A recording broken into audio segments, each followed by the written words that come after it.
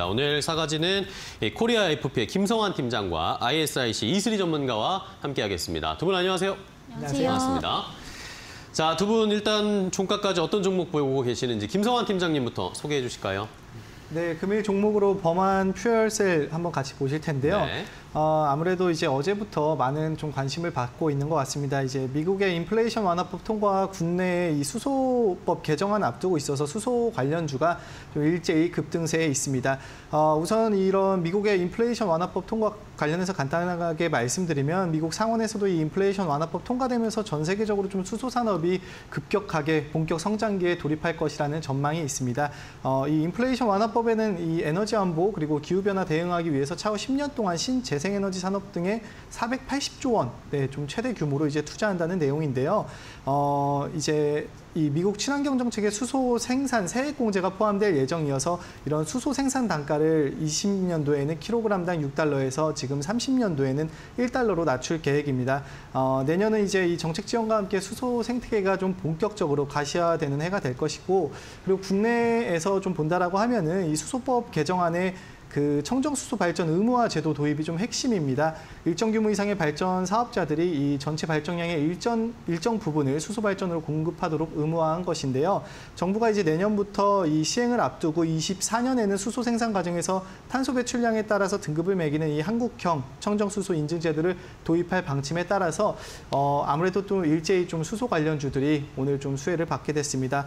마지막으로 하나 또 말씀드리면 이 러시아의 우크라이나 지역 특별군사작전 장기화도 수소 산업에 이 좀 수급이 몰리는 요인이 될 수 있겠는데요. 이 유럽연합이 러시아에 대한 에너지 의존도를 좀 낮추기 위해서 수소에 대한 투자를 강화하고 있습니다. 지난달에 어 이제 예산을 집행하면서 약 11조 원 규모의 민간 투자를 모집하게 될 건데 이런 부분에 있어서 사실 범한 퓨얼셀뿐만 아니라 두산도 그렇고 많은 부분에 있어서 이런 수소 관련주 수혜가 있다 보니까 어 조금은 이제 네. 중장기적으로 한번 좀 보시는 부분도 괜찮지 않을까 싶습니다. 알겠습니다. 범한 퓨얼셀을 김성환 팀장은 주셨고 이슬이 전문가님은 종가까지 어떤 종목 보고 계세요? 네, 조일 알미늄이고요. 오늘 사실 알미늄. 그 인플레이션 감축 법안에 대한 관련주들이 좀 강세를 보이고 있습니다. 그래서 조일 알미늄 같은 경우에는 이제 전기차, 2차 전지 관련주다라고 좀 보시면 될 것 같고요. 어, 굉장히 그 전기차 관련해서 오늘 좀 좋은 소식이 나왔습니다. 바로 이제 전기차 구입 시에 연간 이제 7,500만 달러의 세액 공제를 하겠다라는 네, 소식이 들려오고 있는데요. 어, 이에 따라서 전기차 관련주들 전부 다 좀 중장기적 관점으로도 주목을 해보셔도 좋을 것 같고요. 단기적 관점에서도 좀 접근을 해보시면 좋을 것 같습니다. 어, 하지만 조건이 있는 게 미국과 이제 그 미국 FT 미국과의 이런 FTA를 맺은 어, 국가에서 생산한 배터리를 사용한 전기차로만 이제 좀 제한을 한다라는 어떤 조건들이 있는데요.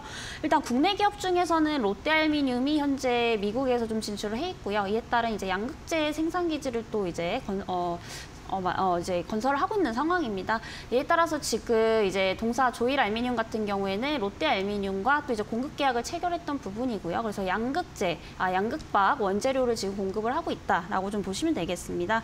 어, 이에 따라서 이런 이제 감축법 수혜 관련주로도 좀 볼 수가 있다라고 보고 있고요. 그리고 아무래도 이런 구매, 어, 보조금 지원을 좀 혜택을 하게 된다면은 이 구매 혜택을 좀 받기 위해서 소비자들에 대한 수요가 몰릴 수밖에 없습니다. 이런 부분들이 앞으로 이제 전기 어, 그런 이제 전기차에 대한 어떤 그 수요에 대한 촉매제에 대한 역할을 좀 하지 않을까라는 또 판단이고요. 또 하지만 이제 북미 지역 이외에서 생산되는 이제 전기차 같은 경우에는 이제 3,750만 달러, 어, 반 달러 정도밖에 이제 세액 공제가 안 된다라고 합니다. 뭐 이에 따라서 사실 미국에 직접적으로 지금 자체 생산을 하고 있는 기업들이 굉장히 좀 큰 수혜를 받을 가능성이 높기 때문에 어, 조일알미늄 좀 주목을 해보시면 좋을 것 같고요.